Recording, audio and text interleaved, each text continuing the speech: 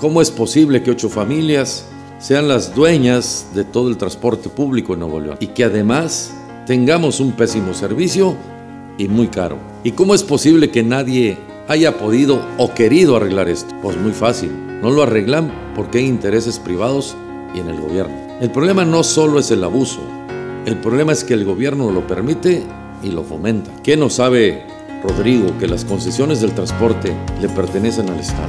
Las ocho familias solo prestan un servicio, no son dueñas, pero actúan como si lo fueran. Cuando yo sea gobernador, vamos a obligar, sí, a obligar a estas ocho familias a dar un servicio de calidad y con una mejor tarifa. Y el que se resista, muy fácil, le quitamos la concesión. Esto no se trata de una elección, se trata de darles una lección. No basta con tener camiones nuevos, como proponen unos. Se trata de poner orden, orden para hacer justicia. Y desde luego, también vamos a hacer funcionar el metro con sentido común.